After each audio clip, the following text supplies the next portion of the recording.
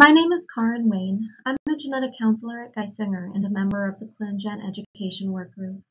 This presentation will provide a brief introduction to genome assemblies and gene transcripts, and will address why these two pieces of information are important for a genetic test result and for a clinical provider who may be searching for information that is relevant to the interpretation of a genetic test result. I'll begin by describing what a genome assembly is. These are also often referred to as builds. An assembly is created by arranging millions of sequence reads across all chromosomes and represents an understanding of the human genome based on data at a point in time. Each iteration, due to new technologies or available populations, is named as a new assembly we are still gathering sequence and structural genomic data that continues to inform this understanding, and therefore have been able to make improvements like filling sequence gaps and understanding the structural nature of the genomic regions with each iteration. There are two commonly used systems for naming assemblies. One from the Genome Reference Consortium, which has used the nomenclature of NCBI build number such as 36, and more recently, GRCH37 and GRCH38. The other comes from the University of California, Santa Cruz, and has used the nomenclature of HG number, such as HG18 and HG19. The most recent build is called HG38 to be more consistent with the GRCH nomenclature.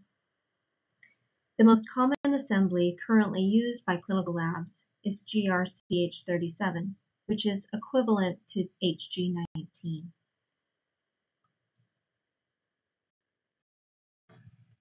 The genome assembly that a laboratory uses for a test is important to know, particularly for genomic assays such as chromosomal microarray and exome genome sequencing. The assembly serves as a reference to which the genomic coordinates correspond. If you're given the genomic coordinates for a reported variant, which would be standard practice for copy number variants identified by microarray, you must know what assembly was used in order to accurately use the coordinates in genomic tools. For example, the gene TP53 has a location on chromosome 17. The location of that gene corresponds to the coordinates shown here.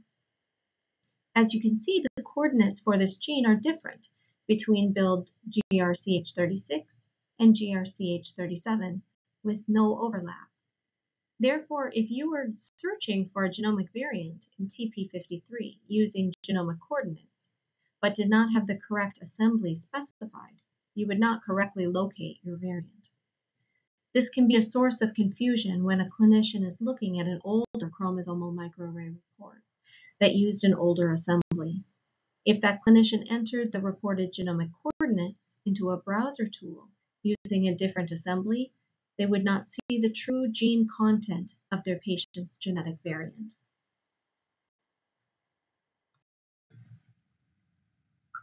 The lab report should specify the assembly used particularly for large-scale genomic tests. This is typically located in the Methods section, but can sometimes be listed in other places as well. The assembly is a standard part of ISCN nomenclature for chromosomal microarray reports. You will definitely need the assembly in order to accurately use browser tools, such as the UCSC Genome Browser and the NCBI Variation Viewer and to search the database of genomic variants for copy number variants. For sequence variants, the lab may or may not report the genomic nomenclature of a variant, which includes genomic coordinate and base change.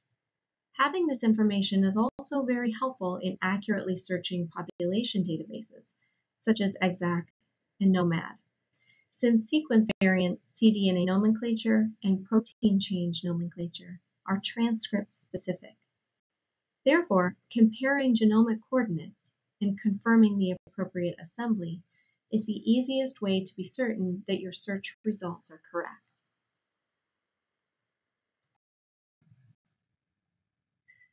Now I will talk more about transcripts and why they are important.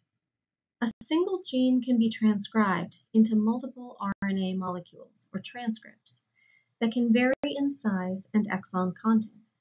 Therefore, coding DNA or cDNA changes are specific to a transcript.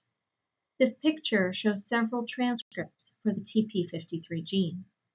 Transcription is initiated from the right side of the screen, and you can see several transcripts resulting from two different transcription start sites. The dark blue boxes represent exons that are included in the transcript, and you can see that there is variability in exon content between transcripts. This impacts how exons are numbered.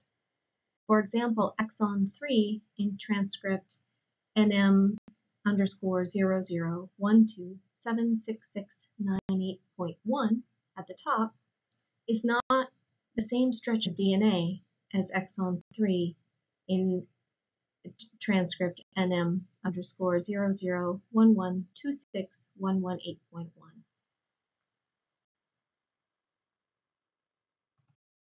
Furthermore, a single genomic DNA change would cause different coding DNA and amino acid changes in different transcripts.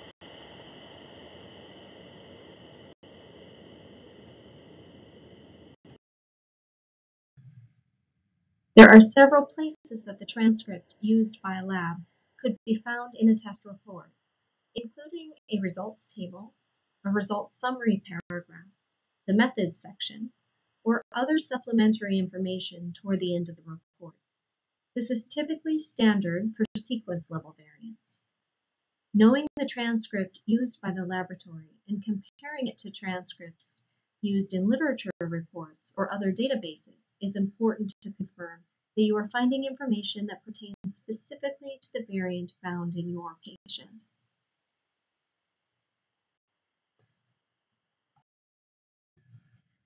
I hope this has been a useful introduction to genome assemblies and gene transcripts.